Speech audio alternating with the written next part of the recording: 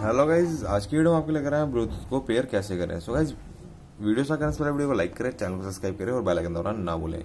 So guys video start करते हैं। तो गाइज़ सबसे पहले आपको फ़ोन की सेटिंग ओपन कर लेनी है। फ़ोन की सेटिंग ओपन करने के बाद आपको ब्लूटूथ दिख रहा है ब्लूटूथ पे ओपन करें। ब्लूटूथ ओपन करने के बाद आपको देख सकते हैं यहाँ पे हमारा जितने भी आपके ब्लूटूथ होंगे, आप इसमें स्कैन हो जाएँगे।